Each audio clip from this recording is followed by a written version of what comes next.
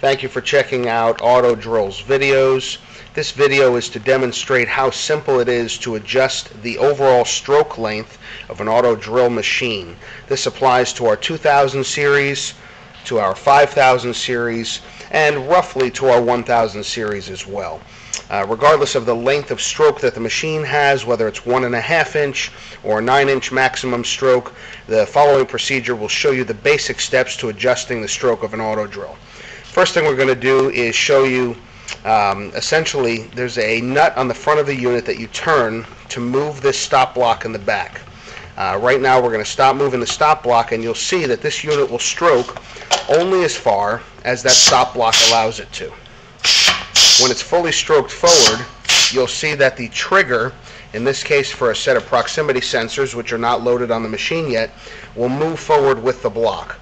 And of course on the stop collar on the front, the trigger for the proof of return will also uh, move back into the same position every time. When you adjust the stroke of this machine by turning the the fastener on the front with some type of a, uh, a ratchet like we're using here or even a wrench, you move the stop block and you can make finite adjustments to the unit itself. This unit happens to have a maximum of 4 inches of stroke.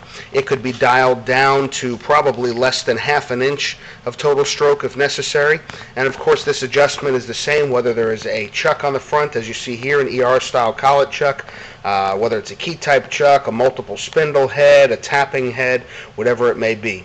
If you have any questions, please contact us at Auto Drill at 800 871 5022 or 908 542 0244. That's for international callers. Or, of course, on the web at autodrill.com or drill HQ, like headquarters.com. Thank you very much.